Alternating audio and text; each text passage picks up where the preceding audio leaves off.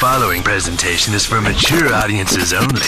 Who are you? He's a fine man. All hell is broken loose. He's a great broadcaster. He's a very powerful guy. Absolutely brilliant. Feared by men, adored by women. He's a smart boy. It's patriotic. It's no big deal. It's the end of the world. I might as well tell you now. He's a monkey.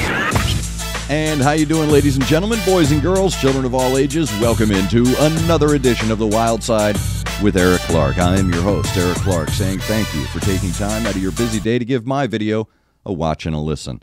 If you like it, like it. If you think other people are going to dig it, give it a share. Make sure you are subscribed to the YouTube channel and you're following me on all the social media platforms. That way, if there's a band, song, video, something you want me to check out, hit me up with a DM or leave it in the comments below. If you're going to hit me with a DM, please no spamming. If you are going to put it in the comments below, join the I Concur Army. The ICA is worldwide and growing. All you have to do is give the comments a cursory read if you see that your suggestion has already been made or you see another suggestion that you say, wow, that's pretty cool. All you have to do is leave a like and reply with I concur. That'll help my old burnout resin coated DJ brain get everything into a nice little organized list, put it in the handy dandy notebook. Before we get started in today's video, I do want to say thank you to Connect 200, excuse me, Music2See, and of course, Aunt Betty's Nut Butter. Today's video is coming via our live stream, which we do every Wednesday and Saturday, 11 a.m. and 2 p.m., respectively. Central Time here in the U.S. Another way to get your suggestion to me. A couple of weeks ago, Arjen Lucassen, one of my favorite artists, dropped a lyric quiz. The hey man, do you know do you know who I'm singing about? So I wrote down some names. I happen to be right. So I'm looking forward to checking out the song that that little quiz went to, and that's what we're checking out today. Arjen Lucassen's new project, Supersonic Revolution, dropped a new track called The Glam Attack. Here we go.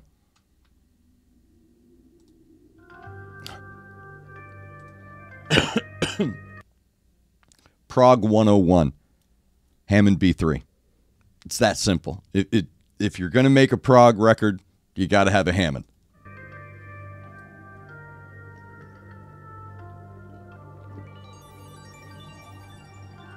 Thank you, Booker T. Making that sound popular. And then British kids loving soul music took it to a different level. Joost van den Broek. I hope I said that right. I haven't been practicing. Let me know who everybody is.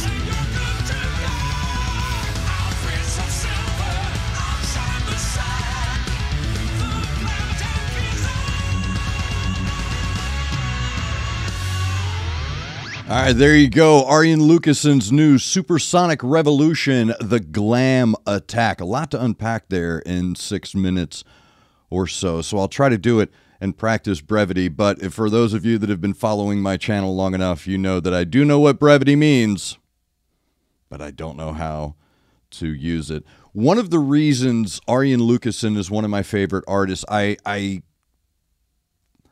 like with Tuomas Holopainen, I enjoy his ability to create the perfectly measured piece. So while there is sharpness in the song, there there's sharpness. There are sharpness. There's sharp points to the song. It's a very rounded piece. It's a very full and rounded piece. And he does such a good job of opening and closing, maintaining that prog tone. Remember, Prog 101, Hammond B3. It's the Hammond. Uh, it here's what it is. This is why I wrote it down. Music history lesson. That's what I love about this guy, is that he takes you on a on a journey of facts while singing this track. So he's talking about what is known as glam, the glam era. Most people I know who aren't gatekeepers and pretentious music snobs don't really use terms like glam.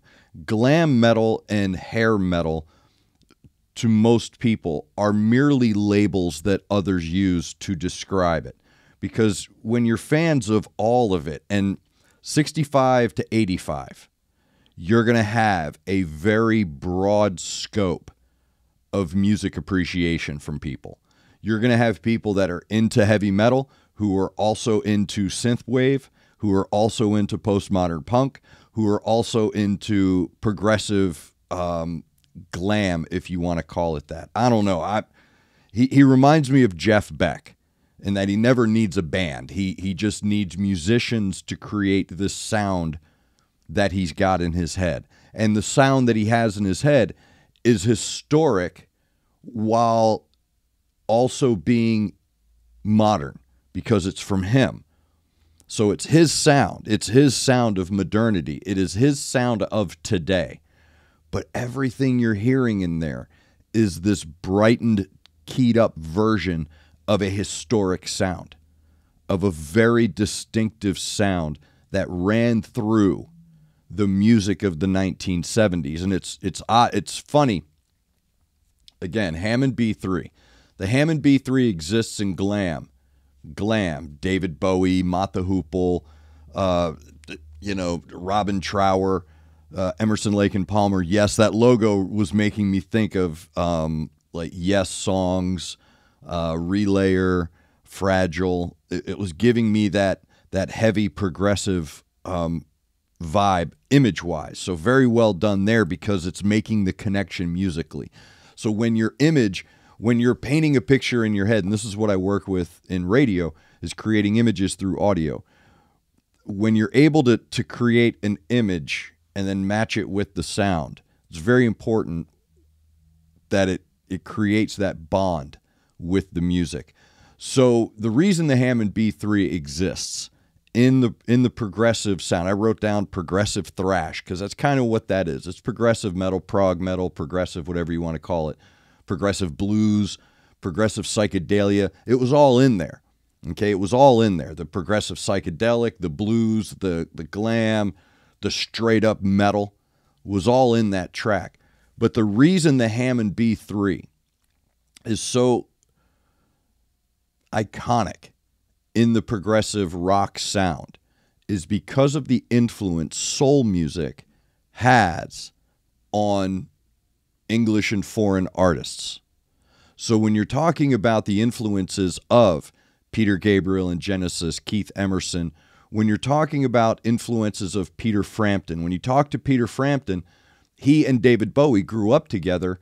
I think Peter Frampton's dad was their music teacher or something like that. But Peter Frampton and David Bowie go back to childhood. And I don't think you can talk about progressive blues or progressive rock and not talk about Peter Frampton they were heavily influenced by soul music, American soul music, and all of that comes out of Stax Music, Stax Records in Memphis. The house band of Stax Records was Booker T and the MGs.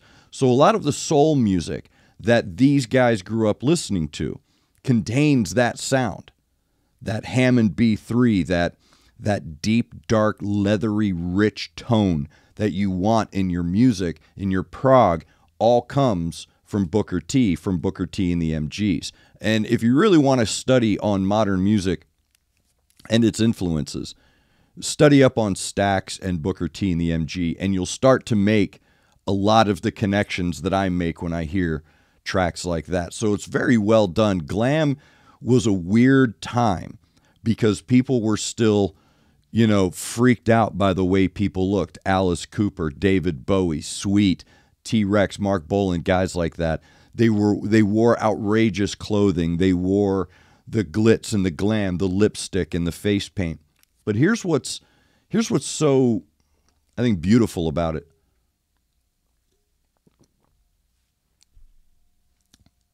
Style, substance equal. So you can say they were wearing outrageous clothing, they were doing outrageous things, but they were good enough and they were talented and brilliant enough musicians to pull it off. It wasn't until later when style became style over substance. These men were these bands were still coming up during a time of you better bring it. You better bring it because we don't have videos, we don't have Instagram, we don't have any of that.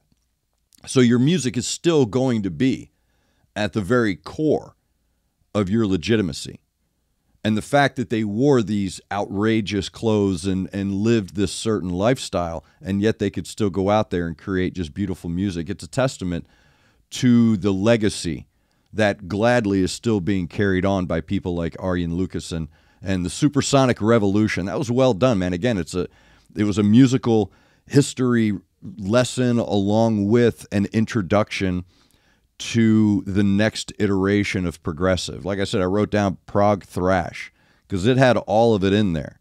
But it was it was very well done. Again, Arjen reminds me a lot of Jeff Beck in that people say he has many bands, but he doesn't need a band. he needs musicians to do certain things because in his head he has a sound and he said, "Okay, I need this is what I need." So he's he's brilliant in knowing the measure, the proper measure, the proper amounts, the proper doses and creating a very good wide, thick and rich color spectrum where that low Hammond B3 and his bass and the drums are creating this really cool earth foundation. And then all of a sudden the higher keys and the guitars and those really strong good thick dominating rock vocals are all kind of blending together to create that wonderful the the lighter colors if you will the yellows the greens the blues the sky colors and things like that so perfect mixture again i i'm not shocked by how perfect the song is so well done arjen lucassen supersonic revolution the glam attack is the name of that track, and we'll be looking forward to more coming out from that band. They sound really good, so it's kind of like what the darkness wishes they were. It's kind of, excuse me, one of the thoughts I had while listening to that. So thank you for the suggestion. Keep them coming. Again, if you have a suggestion, hit me up with a DM. Leave it in the comments below. We live stream Wednesday and Saturday, 11 a.m. and 2 p.m. respectively, Central Time here in the U.S. The Wyldeside Live. But make sure you're subscribed to the channel that way you get the notification. I usually do it about an hour out. Uh, about an hour or so out, I'll do the notification. So make sure you're subscribed. Make sure you're following. Thank you, of course, to Connect 200 Music2See and Aunt Betty's Nut Butter. Thank you to all of you for putting up with me. I'm in my final stages of recovering from the flu. So thank you very much for putting up with me. I want to try to get through these as quickly as possible to save my voice. So, again, thank you for taking time out of your day to watch my video. Make sure you're looking out for each other. Make sure you're looking out for your neighbor. Try to do at least one good thing a day. I am Eric Clark, and this has been The Wyldeside.